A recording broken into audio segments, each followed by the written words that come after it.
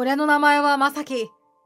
俺はヤクザの後継者として、自ら筆頭に立ってしのぎを上げていた。それは世界に脅威をもたらした感染拡大中も変わらなかった。そんなある日、親父が倒れた。弟の勇気から、親父が組の全部を俺に譲れって、と伝えたことを知らされる。というわけで、無能幹部の兄貴は邪魔。即脱退で。しょうがないよな。親父がそうやって言ってるんだからさ。兄貴だって、親父の言ってることだったら従うしかないだろう。俺だって本当は心苦しいんだぜ。兄貴とはうまくやっていきたかったよ。でもまあ仕方ないんだよ。俺の力じゃ兄貴の無能をかばうことはできなかった。ほんとごめんな。ちょっと待ってくれよ。いくら坊ちゃんや親父さんの言うことだとしてもだ。なんで若が組を辞めなきゃいけねえんだよ。どう考えたっておかしいだろ。こんなに組に貢献してるのも若なのに。坊ちゃんは若がどれだけ組に貢献してるのか分かってるんですかなあ、リュウさん。これは親父と坊ちゃんが決めたことなんですよ。俺らのような、ただの組員が口出ししたって変わりゃしねえんだ。結局組を取り仕切るのは、親父さんの息子たち。俺らは所属してるだけ。わざわざ坊ちゃんを怒鳴りつけてどうすんだよ。こうた、お前は黙ってろ。いつもいつも坊ちゃんにくっついてるだけじゃねえか。ねえ、坊ちゃん。和歌を脱退させるのだけは勘弁してください。どう考えても、その答えはおかしすぎます。リュウさ、俺が兄貴を脱退させたくて言ってると思ってんの？残念だけど、これは親父の決定なの。だいい親父を病院に連れてったのだって、俺とまさきだろ。今はもう面会謝絶状態だし、話したのは俺らだけなのよ。その俺らが、兄貴は脱退だって親父が言ってたって教えてやってんのにさ。まずは親父を病院に連れてってくれてありがとうじゃねえの。それにしてもです。俺は親父さんや坊ちゃんの決定には納得できません。あんたが納得してるかどうかなんか関係ねえから。さっきから往生際が悪すぎですよ。ええ加減理解してもらえません。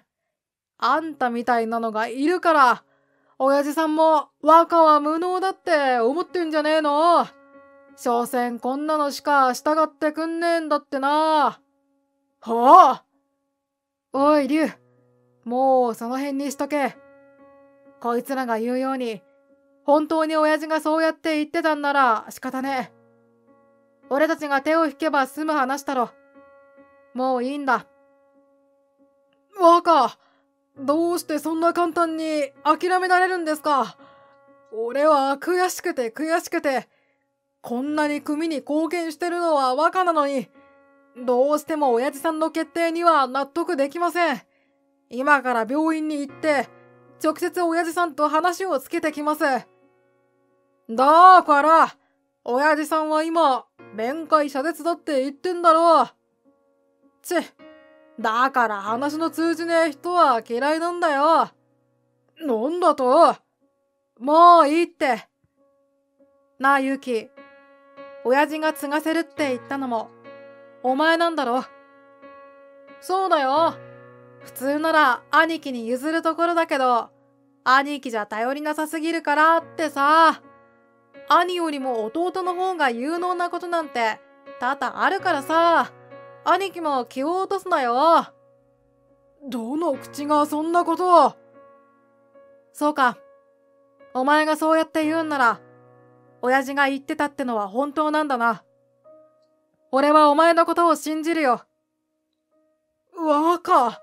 どうしてそう坊ちゃんに甘いんですか。いくら6つ年が離れてるからって、これはあまりにも甘やかしすぎですよ。ずっと言わずにいましたが、若も親父さんも、坊ちゃんに甘すぎます。もう少しヤクザとして、大人としての立ち振る舞いを教えないと。お前に言われる筋合いはねえよ。これは親父が決めたことだって言ってんだろ。そんなに兄貴の方が有能だって言うんなら、退院したら聞いてみろよ。本当に親父さんは若のことを無能だと思ってるんですか？ってな。ま、親父が退院する頃には、お前らこの町からいなくなってると思うけど。お前、自分が誰に口聞いてるか分かってんの？何が？分かってるに決まってるじゃないですか。組長に無能って言われた人たちですよね。でも俺たちは、特に坊ちゃんは、組を任せるって言われてるんですよ。その時点で、すでに力関係が変わってるってことにも気づけませんかこいつ、黙って聞いてりゃいい気になりやがって。っていうか、正直ずっと前から、兄貴のこと鬱陶しいと思ってたんだよ。なんか必死になって、組のためとか言ってるしさ。そういうのがもう時代に合ってないって分かってねえのかな。そんな古臭い考えしてるから、親父に追い出されるんだよ。兄貴の周りにいるのって、竜みたいな時代錯誤な人間ばっかじゃん。もうそういう時代じゃないんだよ。汗水垂らしてしのぎ上げるとかさ。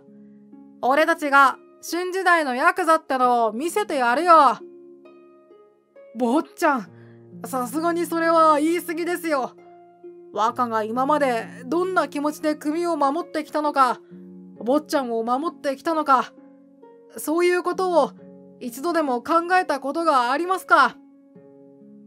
はあ？もうそういうのが出せんだって。いい加減しつこいわ。もういいから、さっさと荷物持って出て行ってくんない。荷物はもうこっちでまとめてあるからさ。兄貴たちが持ってく荷物はこれな。う、どうしてこんなに少ないんだよ。俺も若も何年も組にいたんだぞ。もっと私物だってあったはずだろ。うるせえな。いちいちでけえ声出すんじゃねえよ。あんたらの荷物はこれだけだって言ってんだろ。文句言うんなら、さっさと出ていくって宣言して、荷物まとめろよ。いつまでも渋ってんなら、このままここにある荷物と一緒に叩き出すぞ。なあ、兄貴。さっきから一言も話さねえのは何なの？自分が悪いって認めてるってことでいい？竜が必死で兄貴のことかばってんのに、なんでそんなつまんない顔してんの？もしかして、自分の無能さを知らされて、打ちのめされてる感じ？そうだとしたらマジで傑作なんだけど。おい。いい加減なんか話せよ。そういうところが気持ち悪いんだよ。坊ちゃん。いや、もういいよ、竜。でも、もういいって。これは俺たち兄弟の、いや、俺たち家族の問題だ。それに、親父が勇気に譲るってんなら、それでもいい。実際俺と勇気は、半分しか血が繋がってないしな。親父の今の奥さんは、勇気の母親だし、組の全部を譲るってのも納得できる。俺は納得できません。だから、てめえはもう関係ねえんだって。もう行こう。それ以上話しても何にもならねえよ。やっと出ていく気になったか。二度と戻ってくんなよ。わかった。だからお前も、今後俺には関わるなよ。こうして、俺と龍は、勇気たちが用意した荷物以外のものをまとめて、事務所を出た。おい、龍。何そんな不安そうな顔してんだよ。俺たち、これからどうなんのかなって思って。大丈夫。俺に任せとけって。それから勇気が鬼電をかけて泣きついたのは、たった1ヶ月後のことだった。兄貴、今すぐ組に戻ってこいよ。生活大変だろ。組に戻ってきたら、下っ端だけど、また入れてやるからさ。これは、親父も了承してることだから、心配しなくていいから。いや、別に生活に困ったりなんてしてないし、戻る理由もねえよ。俺らは俺らで、それなりに楽しくやってるから、心配する必要はねえよ。はあそ、そんなわけねえじゃん。だって、兄貴は組でやってたしのぎを全部捨てたのに、生活が安定してるわけねえだろ。どうせ日雇いかなんかで食いつないでんだから、意地張ってねえで戻ってこいって言ってんだよ。そうしねえと、親父があの無能がバカやらかさねえか不安だって言っててさ、親父が辞めさせたのにな。そうか。じゃあ俺の方から親父に連絡しとくよ。元気でやってるって。そうすれば、親父ももう無駄な心配しなくて済むだろう。いや、いや、ちょっと待ってくれって。親父はもう兄貴の連絡先消してるみたいだからさ。親父が知らない番号の電話に出ないのは知ってるだろう。それに、親父は今、ちょっと色々あってさ。とにかく、一度会えないか。兄貴に話さなきゃいけないことがあるんだよ。話さなきゃいけないことだから100回も電話かけてきてたのかそう、そうだよ。どうしても兄貴と話したいことがあるんだ。電話じゃ伝わらないかもしれないし、直接会って話したい。ダメかなそれか、俺が兄貴のいるところに行ってもいいし。あ、じゃあ俺がそっちに行くよ。どこに行けばいい？えっと、場所は、ちょっと若、本当に行くんですか？罠かもしれないのに。これで本当に親父になんかあったんだったらって考えると、行かない手はない。いくら俺を追い出した親父でも、俺はれっきとした息子だからな。というわけで、どれくらいで着く？ああ、そこなら30分もあれば着くと思う。わかった。じゃあ、そこで待ってるから。俺と龍は、すぐに準備をし、指定された場所へと向かう。30分後、たどり着いたのは、使われていないボロ倉庫だった。ねえ、若。これはさすがに騙されてるんじゃないんですかね。これ、わざわざ中に入ってく必要ありますか？騙されてても、俺にはお前がいるからな。もし俺に何かあった時は、頼んだぞ。ああ、まあ、そうなりますよね。若がこんなことでおとなしくなるわけないですもんね。そういうこと。さあ、行こうか。薪にあった扉から中に入ると、そこには勇気とコータ、それに複数の男たちがいた。よー、兄貴一ヶ月ぶりだな。やっと会えたぜ。待ちくたびれたよ。いつになったら連絡来るかと思ってたのに、連絡できなくて泣いてるんだと思って、連絡してやったんだよ。っていうか、罠だとも疑わずに、のこのこやってくるとか、やっぱ兄貴は無能だな。呼んだ理由ってなんだ？話したいことってなんだ？はあ、あのさ、坊ちゃんの話聞いてた。プライドが邪魔して、泣きついてこれねえんだと思って、連絡してやったの。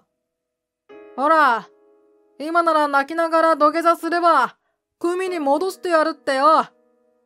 どうする？プライド捨てて頭下げるだけで、今までの生活が戻ってくるぞ。悪いけど、何の連絡もしなかったのは、する必要がなかったからなんだよ。お前ら、どうして勝手に若や俺が苦しい生活してると思ってんだ。いつ誰がお前らに助けてくれって言ったんだよ。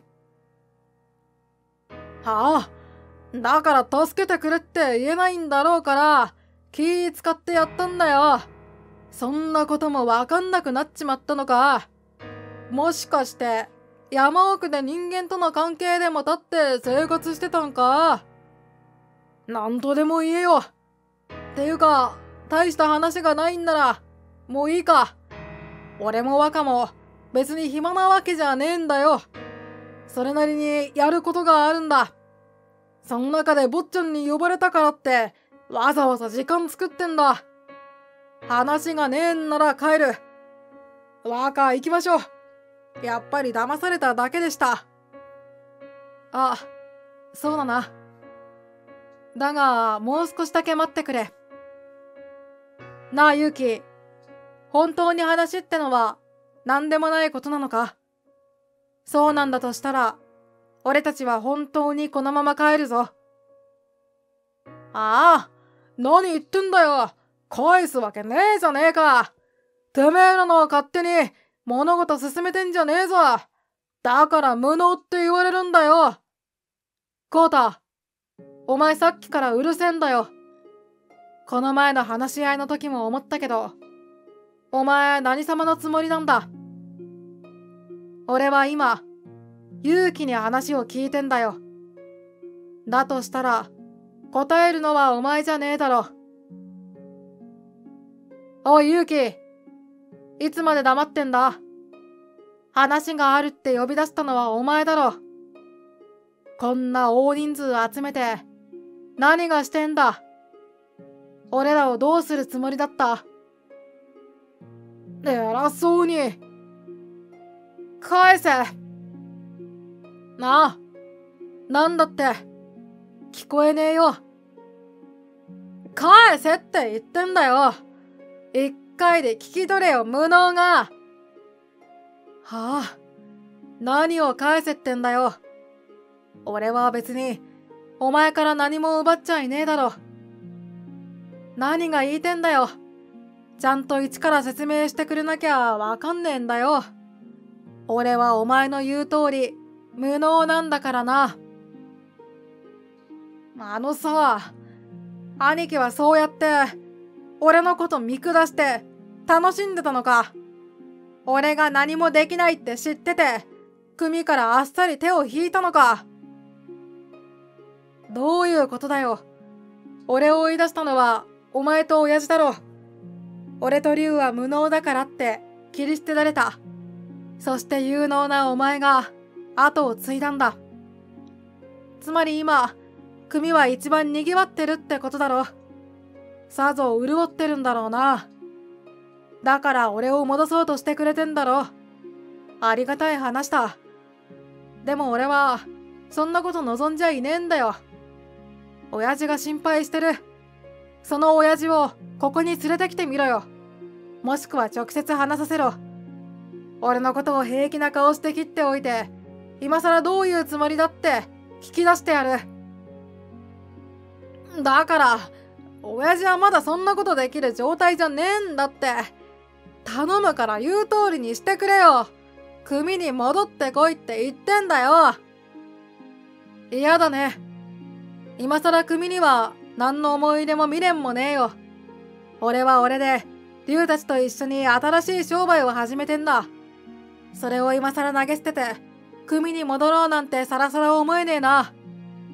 それとも、今の組には、俺らが1ヶ月で作った収入源よりも、でかいもんがあるのか。おかしいな。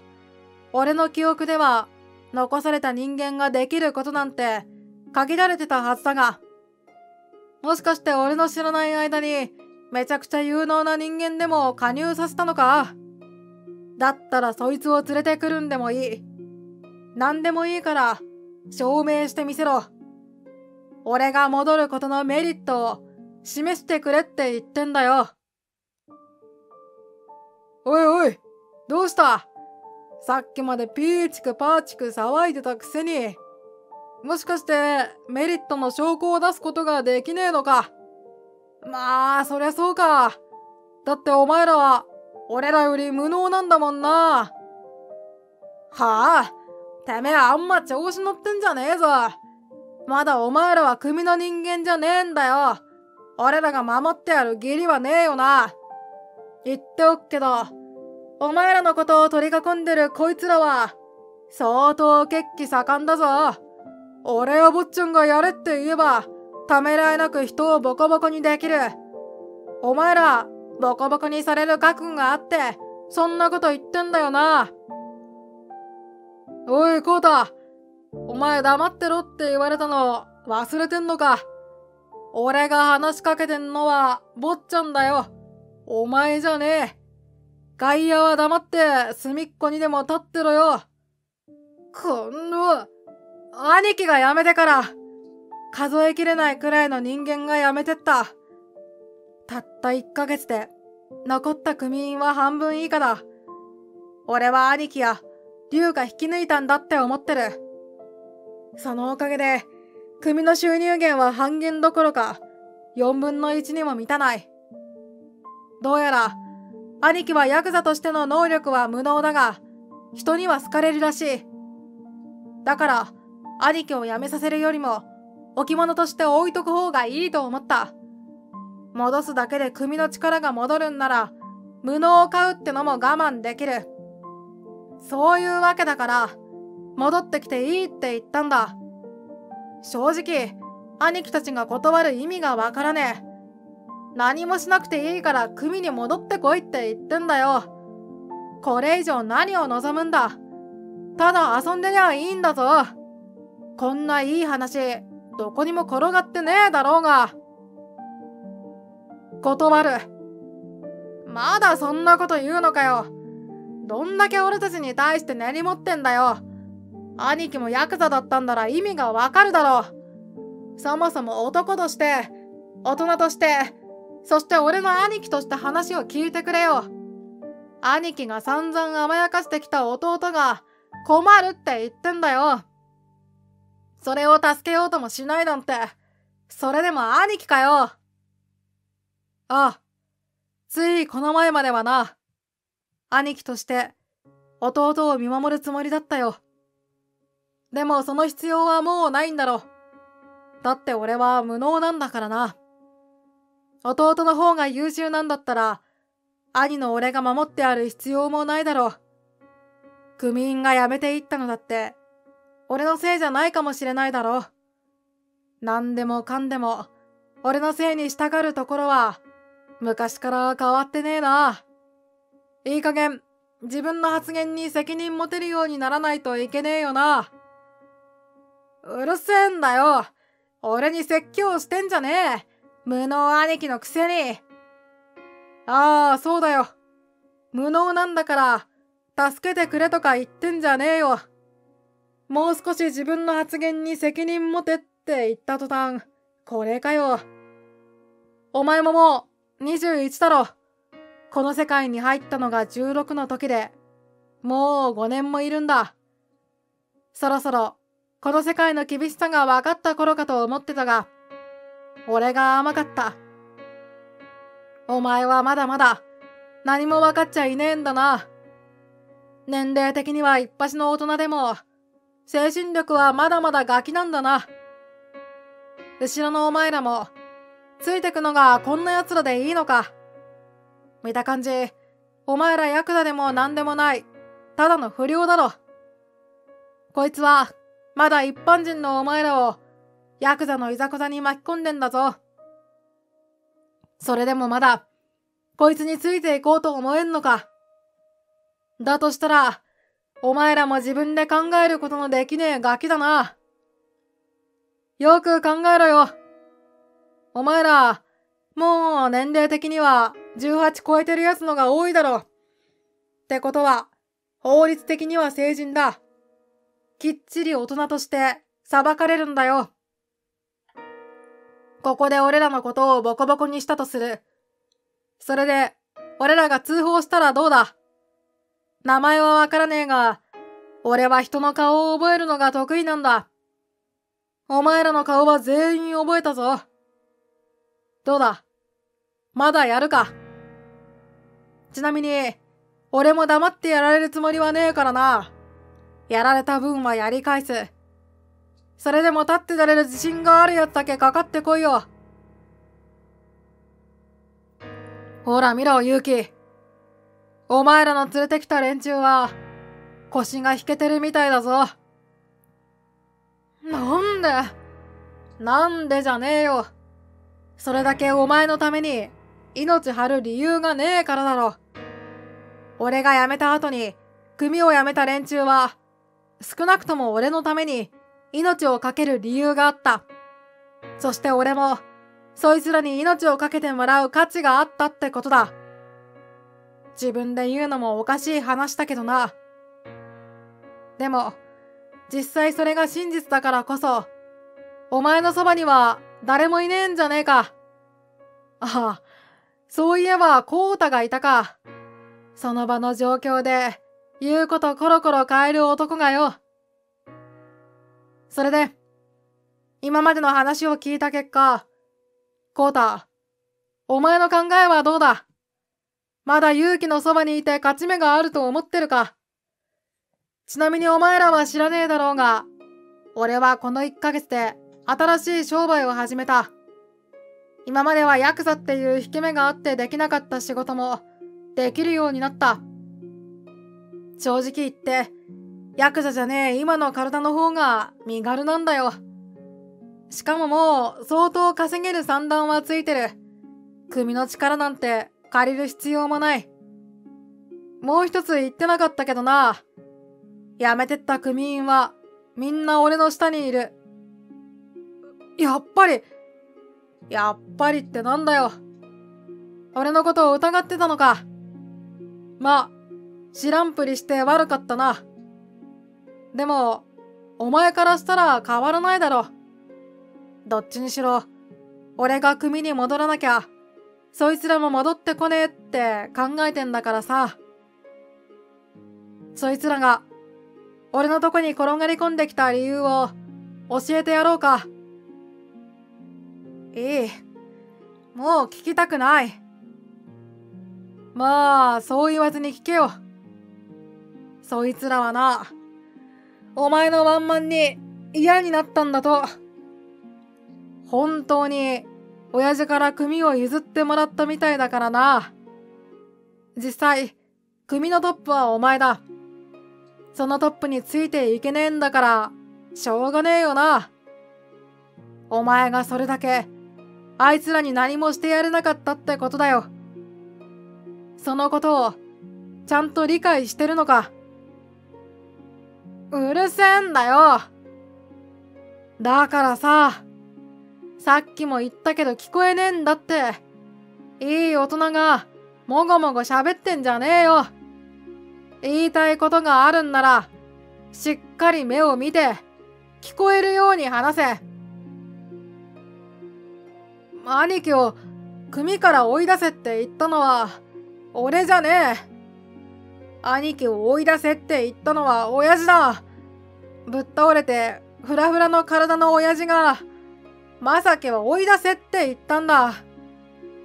それを聞いたまま兄貴に伝えただけなのにどうして俺が悪いことになってんだ？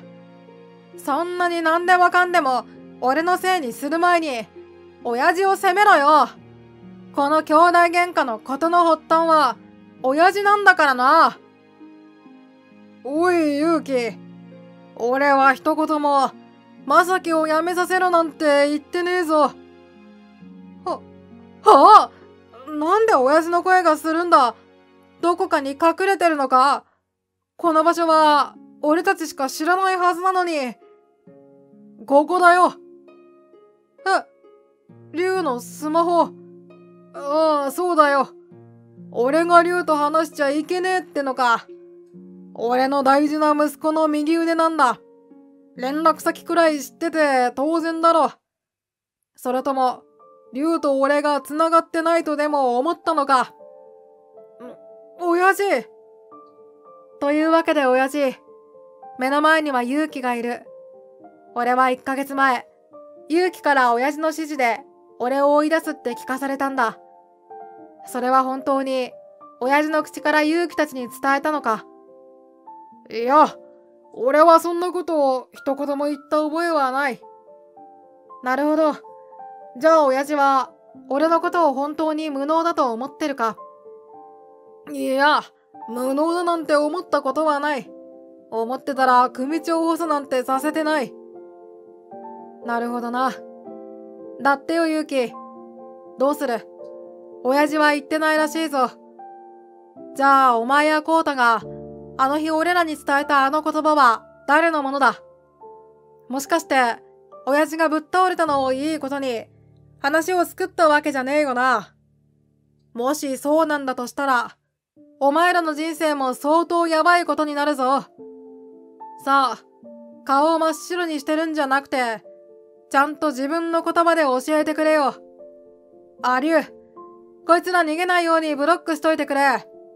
こいつらの悪い癖は、自分らに分が悪いと思ったら逃げるところだからな。大丈夫だ。位置情報から割り出して、すでに組の人間を配備してある。逃げようとしても逃げるなんて無理だ。そりゃ親父らしいよ。さあもういいか。いい加減お前らの答えを教えてくれよ。ゆき、お前は俺を騙した。俺だけじゃない。親父や組の人間もだ。自分たちに都合がいいように親父の言葉を改ざんした。それがどういうことか分かってるのか。こうなるとは思ってなかったか。だとしたら、頭が弱すぎて笑えてくるな。うるせえんだよ。どいつもこいつも、俺のこと見下しやがって。組員の中には、俺が無能だっていうアホもいたんだ。そんな奴らのことを見返そうとして何が悪い？俺の何が悪いってんだよ。兄貴とやってること大して変わらねえのに。どうした兄貴ばっかりがもてはやされて、俺は見向きもされねえんだよ。同じ親父を持ってるのに、どうしてこんなに違うんだよ。そうやって考えてるところだ。お前と正樹への愛情に傾きがあったことはない。失った正樹の母親のことも、お前の母親のことも同じように愛してる。それに、お前らのことも同じように愛してる。だがお前は、自分と正樹を勝手に比べて、自分で自分のことを見下したんだ。何度も何度も元の道に戻そうとした。でもお前はダメだったんだ。人と比べることでしか自分の人生を見つめることができない。そして組を壊滅寸前まで追い込んだ。この責任を取らせないと、組員を落ち着かせることはできねえ。勇気、お前は感動だ。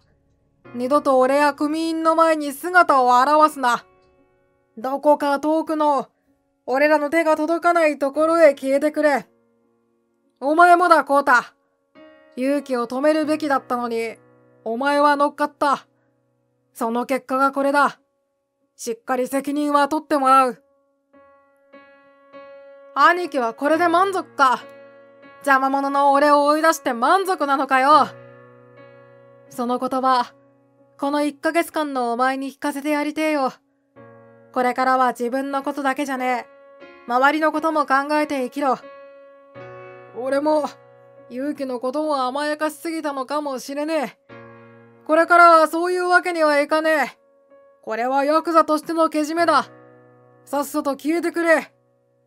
くそ、くそ。お前ら全員覚えてろ。坊ちゃん、待ってくださいよ。なんか、あっという間でしたね。結局勇気に組長の器はなかったってことだけだろ。若のところに逃げてきた連中も、坊ちゃんが好き勝手したって言ってましたもんね。あ、しかもそれだけじゃねえ。あいつは組の名前を使って暴れすぎた。こんなに早い段階でとは思わなかったが、いつかはこうなってたはずだ。あいつらがこれ以上ひどい目に遭う前に、終わらせられてよかったと思うしかねえよ。それから数ヶ月後、リハビリを終えた親父が組員の前に立った。正式に俺は引退し、後釜には正樹を据える。これからもよろしく頼む。若、まだ坊ちゃんの行方はわからないみたいです。仕方ねえよ。うちの組に後ろ綱をかけたんだ。こうなるのも覚悟の上だろ。俺は組長として組員をまとめ、竜を若頭にして安定した生活を送っている。ご覧いただきありがとうございました。あなたからのコメントお待ちしています。チャンネル登録と評価もよろしくお願いいたします。